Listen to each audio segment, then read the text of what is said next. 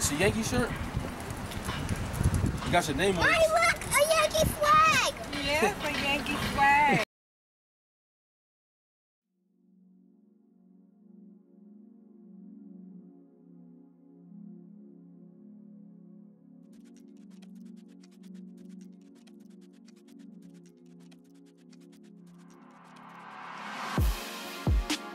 What's up, kid?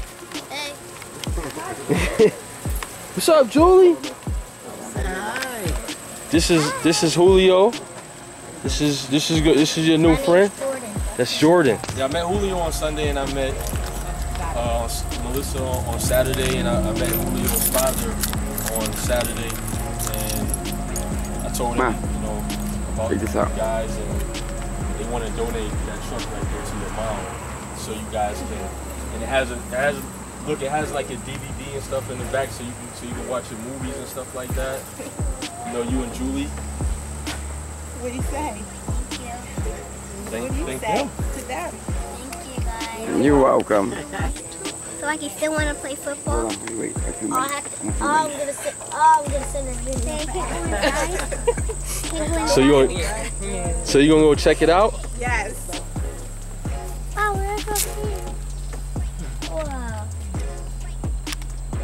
What's the first movie you gonna watch?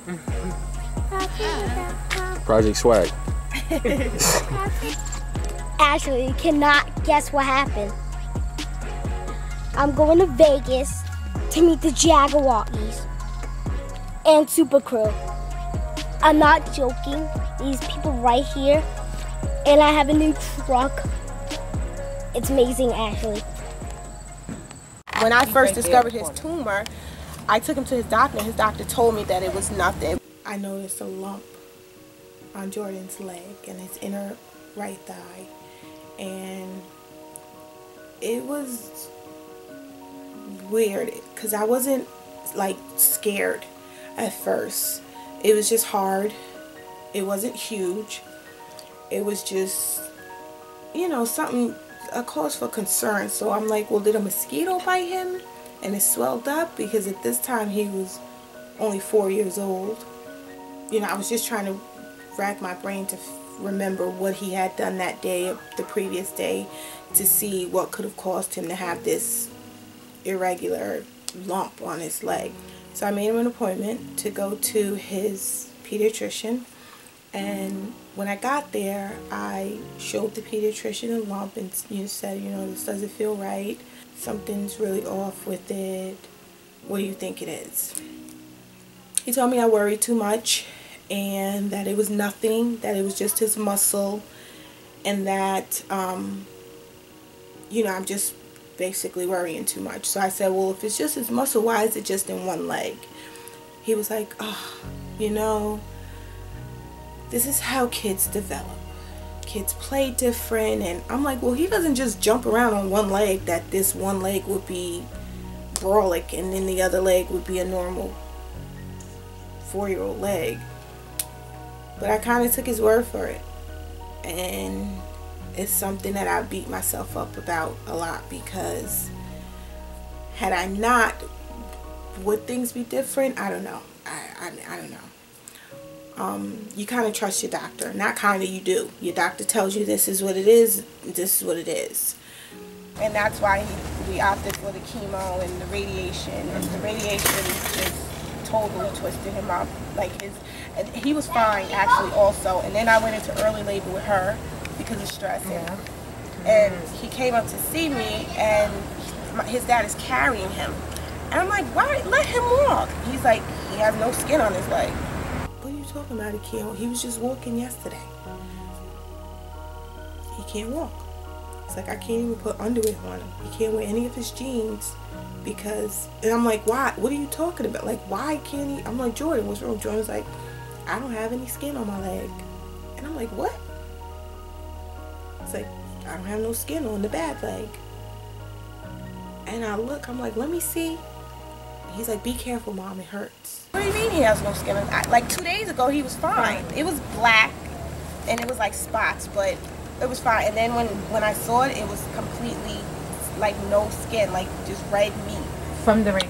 Yep, But they said it cooks you from the inside out.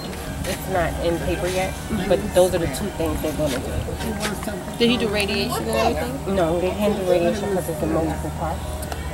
So because it's in multiple parts, in here they can't just pinpoint which radiation from, you know. They had this thing. I can't remember the name of the procedure, but it was like um, that we tried for Jordan also, where they implant radiation seeds into various parts of. But thank God his cancer was localized. No, but they, it's like radiation seeds that they implant in certain parts of the body and like leave them there and they dissolve themselves. And when his cancer came back the second time we did it, I guess it worked. Right. That's something to ask. Mm-hmm. The only thing he that comes up on his scans now, mainly is because all of the stuff was done to that leg. So he has a lot of um, like erosion in the bone mm-hmm. and holes, and then scar tissue gets into it. So it looks like active tumor. Okay. Oh, Pretty.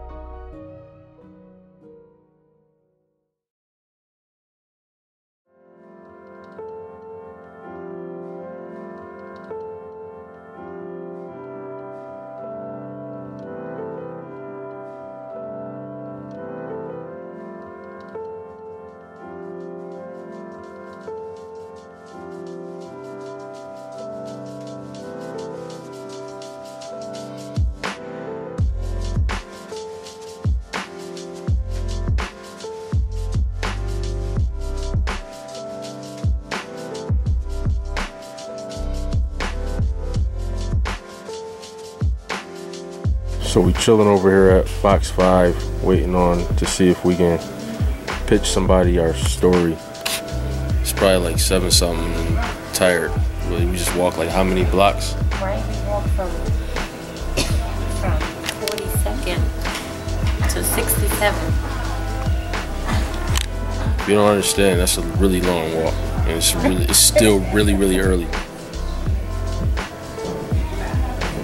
See what We've up Fox since what, four? four. In the morning. So we grinding before people even start work. Shoes right here. This is message from Chris Holden, senior producer at Right This Minute. It's a national television show that I'm about to be on promoting this campaign. We Haas Sadiq via Skype right this minute. Haas, tell us a little bit more about this project.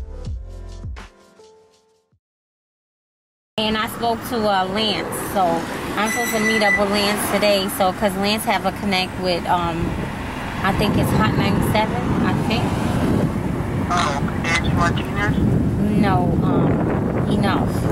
DJ Enuff. Oh, no. Angie Martinez is another one to reach out to. Yeah. No, it's for the kids because what he wants to do too is, um, my little cousin, you know, he's a Jeter fan, so he wants to get him to meet Derek Jeter also. And he wants to, the other little boy Well, that like, should have been e- that should have been easy because he does the foundation at St. John. who? Jesus. As we go towards our dreams, things happen. We're just humans. And with five days left in the campaign, I got sick. Two hospital visits in less than two weeks. I really can't get used to these hospital visits.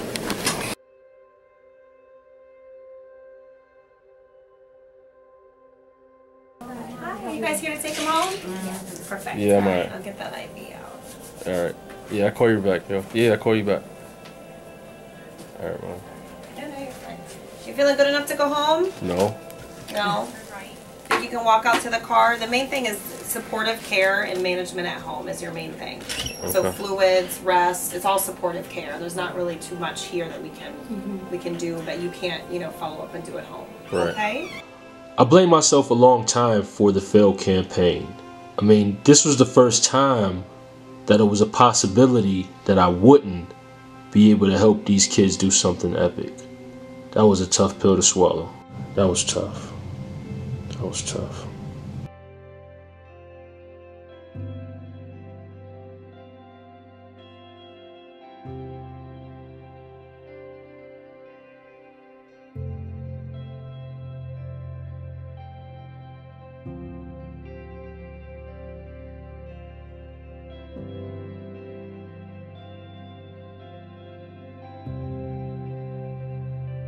Me, Jordan. I really want to see you guys. Um, this is exciting. We heard you like to dance, man. I don't take a bagel. Yeah, that's what we heard. I, I seen I, I, I seen you on I seen you on stage dancing, so I know you like to dance. That's one. That's one. I'm enjoying the play. The ride your skateboard. Remember this. The next time you see me and I pull up in that, or if I pull up in you know swag RV or something like that, just know that you're gonna be going to Vegas to, to meet the Jabbawockeez. Really? Yeah.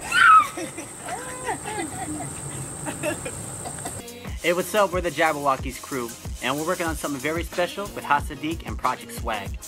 Uh, they sent in the video on Twitter uh, about a guy named Jordan um, who is battling leg cancer, and uh, his request was he wanted to see the Jabbawockeez in Las Vegas. So, with Project Swag, we wanted to do something epic and bring Jordan and his family out to Vegas because we have something very special uh, for him and his family. Uh, we just need your help to get Jordan into Vegas. Click on the link below, and you can see how get help. So, right there. We're gonna pass it to the swag man himself Right there. to give you more man. information on Jordan and Project Swag. Peace. Jabbawockeez crew.